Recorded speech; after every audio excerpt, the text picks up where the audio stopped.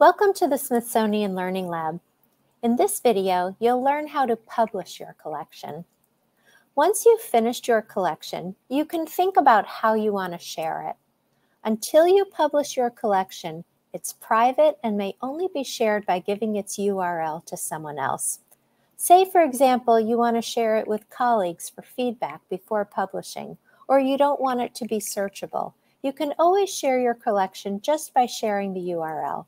You can copy that link by copying it from the URL line or from the copy link button. And that's that, those three circles on a sideways V at the top right of your screen. If you do publish your collection by clicking this blue Publish button at the top right, it would then become discoverable through the lab's search function and also through internet search engines.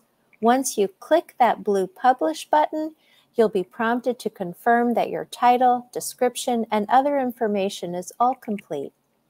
Once a collection has been published, you can still edit and modify it anytime you like. You can also unpublish it.